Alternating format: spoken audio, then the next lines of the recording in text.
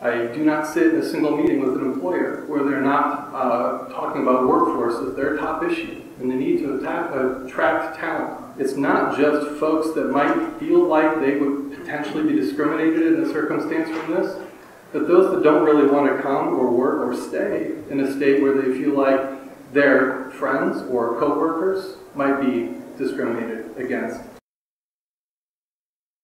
As we talk with our business leaders and CEOs around that area, the number one issue that they talk about is, is uh, talent recruitment and development.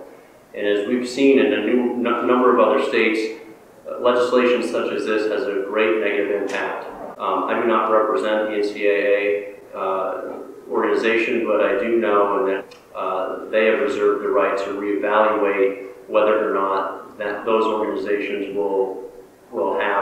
tournaments such as the men's basketball tournament, which is slated to be in Des Moines in 2019.